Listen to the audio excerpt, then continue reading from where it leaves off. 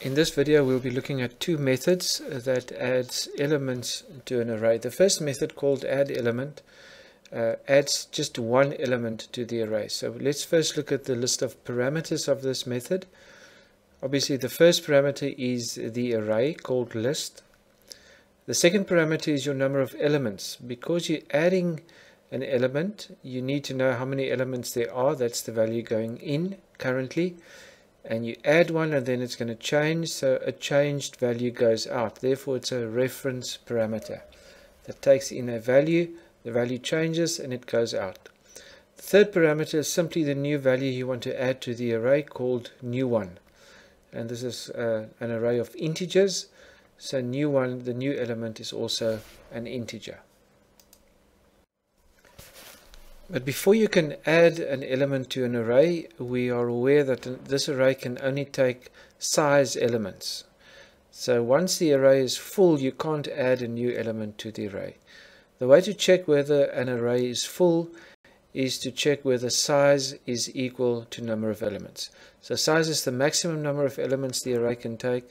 And once the number of elements has reached that, then obviously you can't add an element and you simply just give a WriteLine statement say, that says the array is full. Let's quickly revisit the logic of adding a new element to an array. Remember we're applying the rule of filling up the array from the start, that's from the left to the right. So irrelevant of how many elements there are in an array, the first element will always be at position 0 because of that the last element will always be at position number of elements minus 1. So for example if you had three elements in the array they will be at positions 0, 1 and 2.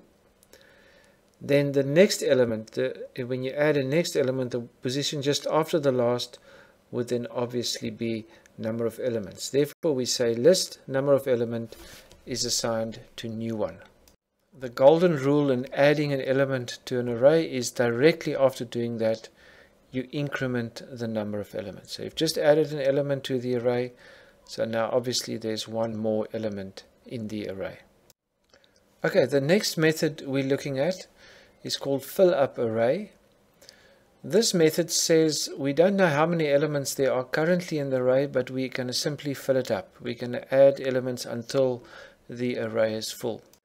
So we look at the parameters and it's the same that we always have when we send through an array called list.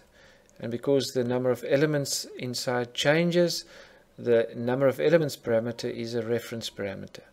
Notice this time we don't need to send through a parameter called new one because we're going to be reading that from the user inside the method. Because we're adding stuff to the array until the array gets full, the while loop simply says while number of elements is less than size. That means while the array is not full yet, we can add another element. So the action of adding another element is simply we ask the user for an element. The user enters an integer and that integer is then assigned to the next open space. Remember this first space after the last element is always position number element. So the new element is added to list number of element.